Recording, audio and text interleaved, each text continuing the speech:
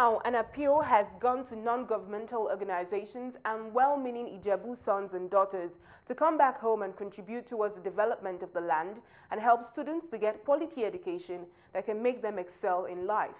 The chairman of the governing board of Ijebu Professionals Excellence Foundation, Olusegun Mafe, made this known during the 10th annual Merit Award of the foundation held at Ijebu he noted that the non-governmental organization has been responsible for youth development through provision of vocational education and scholarships to many indigent students in the area.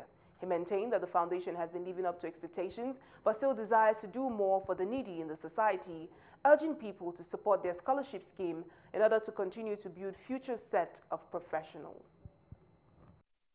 And one of our objectives is to, is to actually support students who are aspiring to become professionals. And uh, over the years, we've been giving out scholarships, you know, to and bursaries, you know, to indigent students. A drop in a nation goes a long way. However, someone is the business that large uh, business investment or small scale uh, investment, they should come down and do their best.